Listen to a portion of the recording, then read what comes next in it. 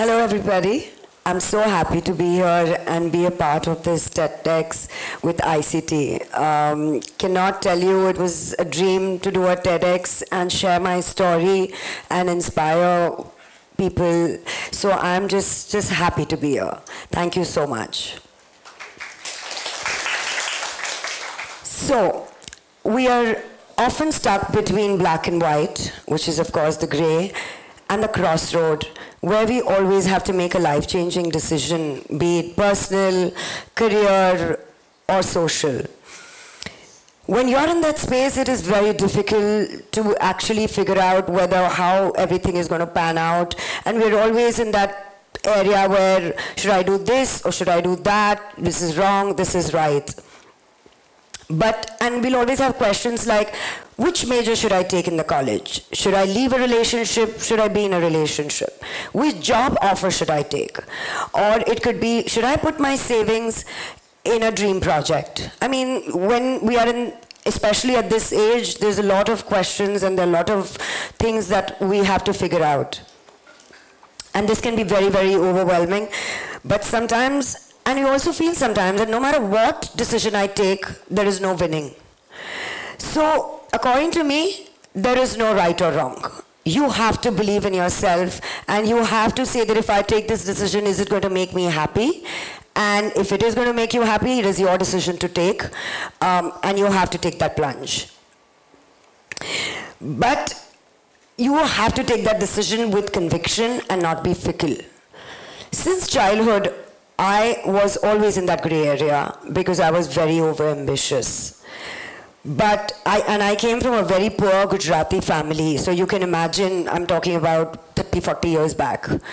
So it was a little difficult where I wanted to be, I wanted everything. I, wanted, I was very over ambitious and whether you take it education or sports, I wanted to excel.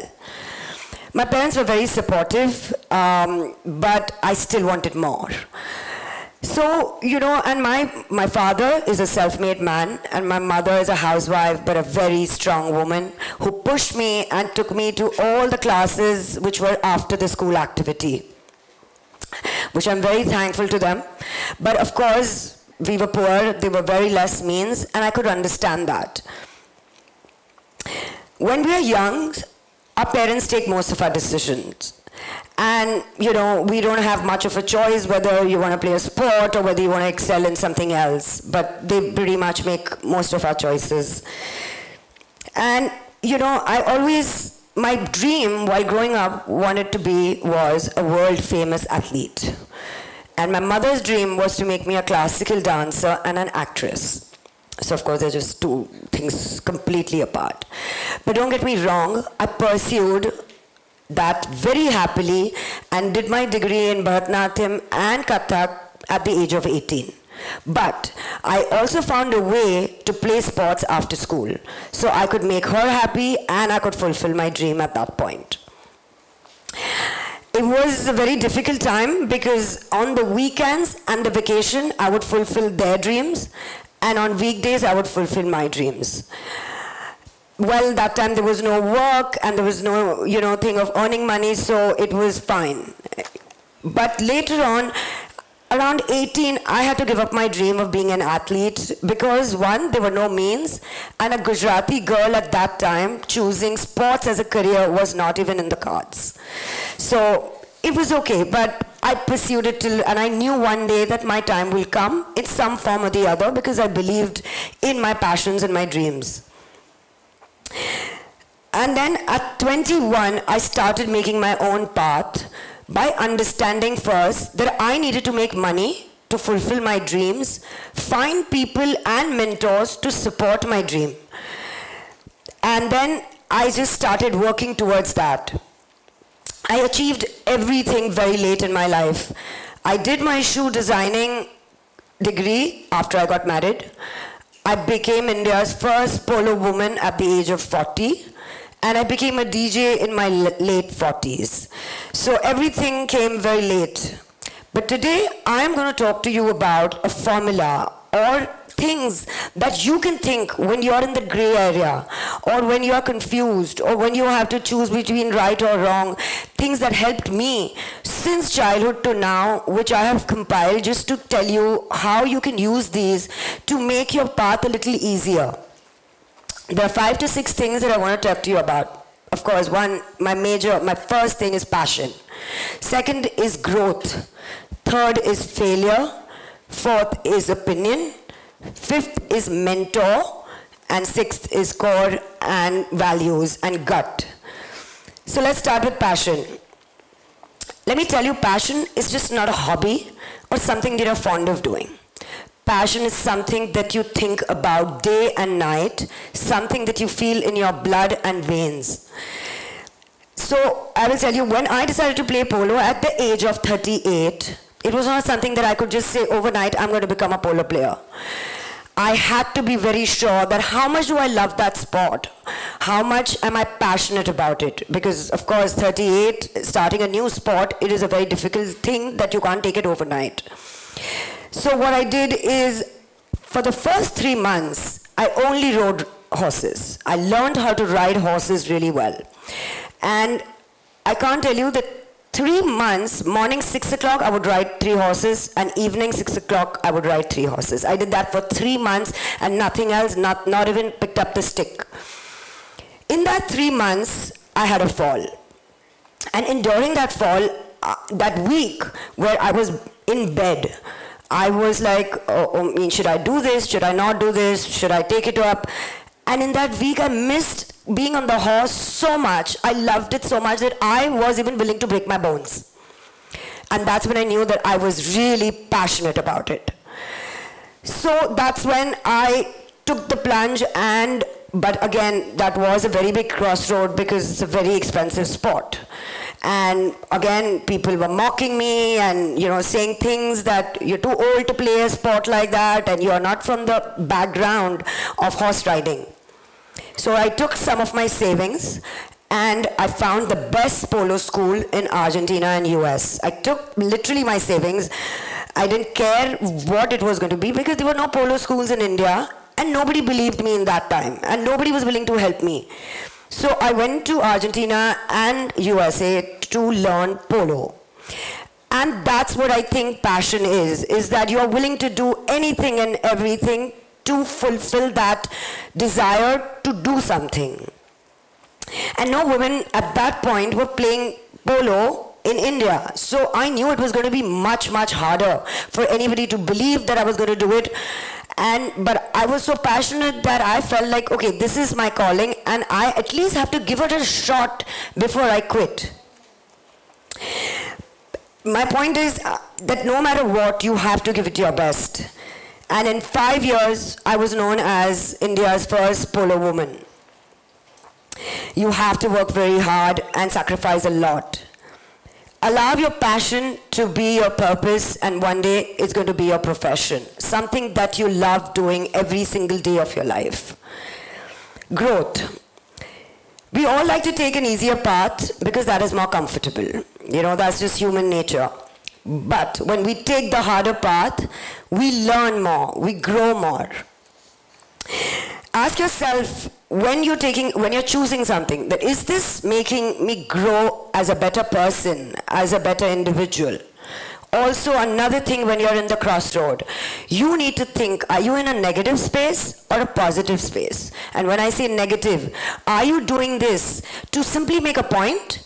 Or are you doing, doing this to spike somebody? Or are you doing this to challenge somebody? Because when you do that, you go into a darker space and sometimes leads to alcohol and drug abuse and also puts you into a very darker negative space. So when I, I'll tell you, when I got divorced and I was young, but I was also growing my shoe company. And when I got divorced, I was sad, I was angry, I was just in that negative space. And my company was doing so well, and I had an opportunity to go to New York to expand my business. But I did not take that. I knew that I was in the negative space and I had to wait it, let that opportunity go, heal myself, be with my family, be with people who care about me. And I got better, I got into positive space, and then I went to New York and I totally rocked it and grew my company to another level. My point is that positive thinking at any point of your life or during that decision is very, very important. I will also tell you another example that how you have to visualize the best possible outcome. It might be that you might be having negative thoughts that, oh, what will people, what if I grow, if I do this, if I don't do this. But visualize, when you're taking that step, visualize the best possible outcome. I'll tell you another story. I, um, while it was my first professional polo game, first, I was very excited, and two minutes just before the game was ending, I had the worst fall of my life. Just two minutes. And everybody thought I almost died.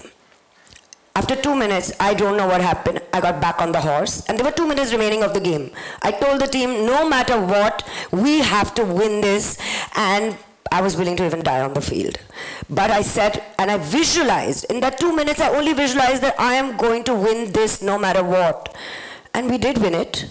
But my point was that in any time of your life or any decision you're making, you have to first think positive and you have to think of the best outcome whether it happens or not. That will lead to a greater energy and a better energy.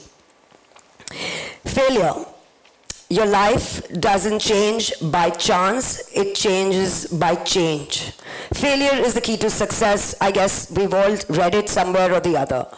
But when you make mistakes, you learn something out of it. So don't be afraid of failing or being wrong sometimes. It's okay. I'll tell you, uh, five years ago, I wanted to open my own restaurant.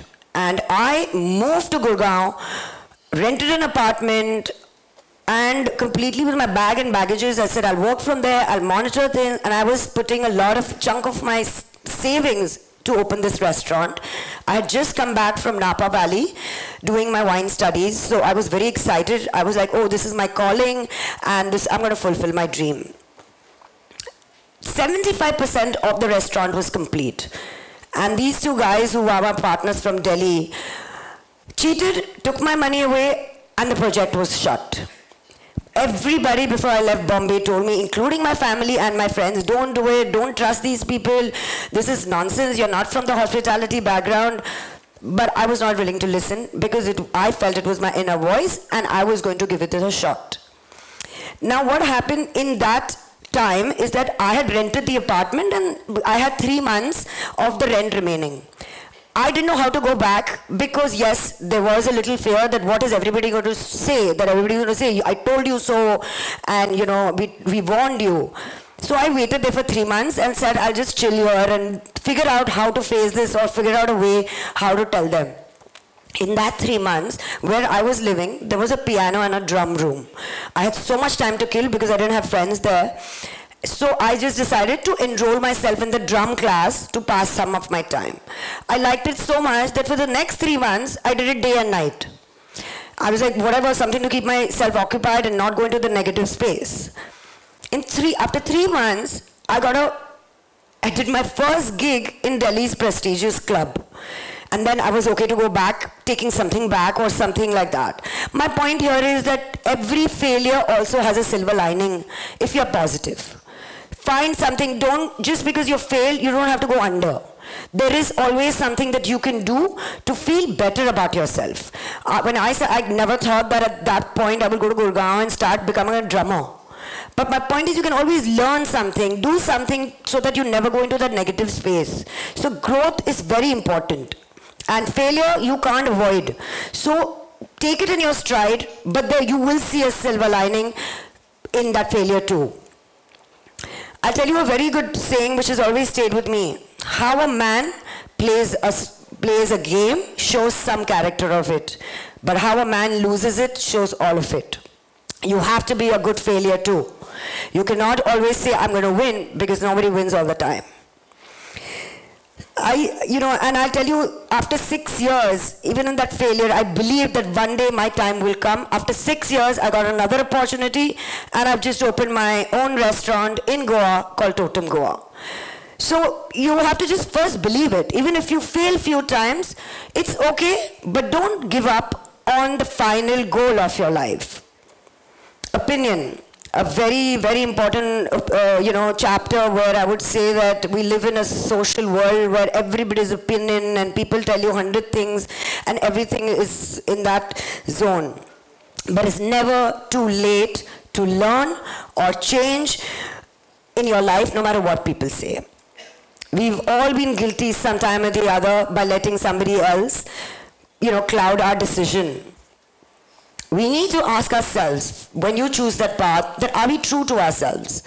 Are we going to be happy making that choice? And that is only your happiness not like is my mom happy? Is my father happy? Is this one happy? No. Are you truly happy making this choice? And are you intentionally not hurting anybody? If yes then that decision is yours to make. You know, people often crush other people's dream just because they can't live theirs and don't have the daring to fulfill their dreams. When I started my career in design, in the shoe design, my own family used to call me Mochi and Cobbler. When I started playing polo at 39, even the children were making fun of me. When I got on the horse for the first time, they were like, why, auntie, what are you doing? I mean, there was always things, because especially when I did everything late in my life, it was like, why is she trying to do or why? But sometimes your opportunity comes later. So for me, it was and the biggest thing, I'll tell you, and I will also tell you this example about my relationship. At 40, I was in a relationship which was just maybe my biggest, you know, I say it a mistake because I chose wrongly, but I take the full responsibility of it. And in six months, I decided to walk out of the relationship when everybody said, oh, no, no, no, at this age, where will you find somebody or give it more time? I knew that I was being tortured. I knew that man was not right for me. So for me, it was just important that I'm not going to give one more day of my life to somebody who is going to put me down. I believe that we are granted one life, and as long as you don't intentionally hurt somebody, you have all the right to do what you want to do. Mentor. When you're in that gray area, you need somebody to you know, motivate you, to lift you up, to understand you. Be around people who understand how what you're going through. It could be one person, it could be a friend, it could be a family member, or even an acquaintance or a stranger. Because not necessary that every time we get people who are around us will support you. At 21, when I decided to be a shoe designer, my ex-husband was the one who helped me to make this dream come true. Nobody, even my family, did not support me. When I started polo, I had only strangers come to support me. Somebody in Argentina, somebody in USA, somebody wherever I was going. There was just one person. I didn't have anybody in the field coming to even see my game because nobody believed me. But that one person or two people, strangers, were enough to say, Rinaa, you can do it. We are here to cheer you. My driver was one of my biggest mentors. But, and when I even started my restaurant, which was just two years back, my family did not come because they were like, again, you're doing the same blunder. You've already lost your money before. A, a friend who was not really a friend, a manager, who came and stood by me from day one to every brick to everything, he supported me. You know, my biggest mentors are Oprah and Michael Jordan, who I have never met. So look around you. You will find that one person who doesn't have to be very close to you, but who will just believe in you, and that one person could be enough. It could be even a stranger. For me, keep, you know, for me it's very important that you have to keep your eyes open and feel everything around you. Feel that energy of somebody else. You don't have to always latch on somebody just because they are your family and have the validation. You can go out and do certain things as long as somebody believes in you. So have those kind of people. Don't be around weak people who crush your dreams and demotivate you. Then gut and core values. Your ambition and your goal should matter more than money. It's a very, very profound statement because we are all right now in that rat race where, but your goal and ambition should matter in the beginning more than money. Of course, everybody wants to make money and everybody has to pay their bills. But when you start, your passion, your goal has to be much more than, oh, I want to make this money because that's why I'm doing this. Remember, ambition can either break you or make you. Always listen to your gut not your head, not your mind, but that inner voice. That inner voice that always speaks the truth, and that's called your instinct. It will come from here. It will not come from here or here, but it will literally come from here. But you have to be aware of it. You have to listen to it, because most of the time we are only doing this and the heart. So try and get more aware of your gut, because your gut will always tell you the right thing. When I started my restaurant Totem, which was just two years back, I cannot tell you, it's like literally I had nobody come there to support. My family came after one year after it started. And I knew my instinct. I was like, this is my second chance. It's my calling, and I am going to make it. I'm going to give my 100, 200%. I'm going to work day and a night. If I fail after that, I've learned something out of it. I'm sure I'm going to learn in one year of experience. And I didn't have hospitality background, but it was my wish since so many years. And because I had failed, I felt I got, and that was my instinct. It was like, no, Rinaa, you have to do it, and this is your chance. And it did extremely well, and you know, I'm so happy that I listen to my instinct, not anybody else. My point here means truly don't quit unless you have tried 200% work and also put hard work. Because without hard work and you have to sacrifice a lot. I have sacrificed my friends time. I've sacrificed my working hours. I have sacrificed my family time. Because till you don't give hard work and time to something that you love it can never grow. You are always going to be in a position where you'll have to you'll feel confused. You'll be like should i do this? Is this right? Is this wrong but I can only tell you one thing is that nothing in life is certain. So today is your day. Today be, believe in your dreams. Today make it happen. If you get an opportunity, don't let it go. Because at least you gave it your best shot when you had that opportunity, when the time came. But you have to work hard, sacrifice a lot. And one thing you have to remember is please lift others on your way up. Thank you.